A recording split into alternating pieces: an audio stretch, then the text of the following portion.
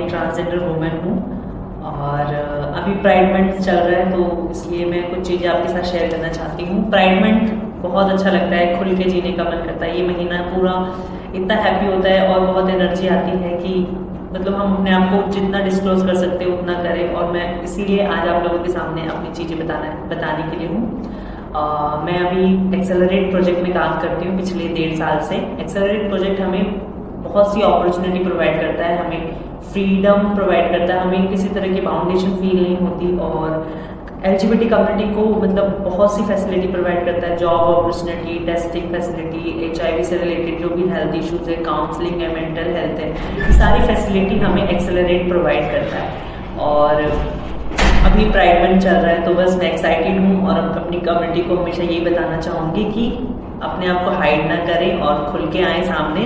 आप लोग सामने आओगे तो एक्सेलरेट आपको भी हेल्प कर सकता है।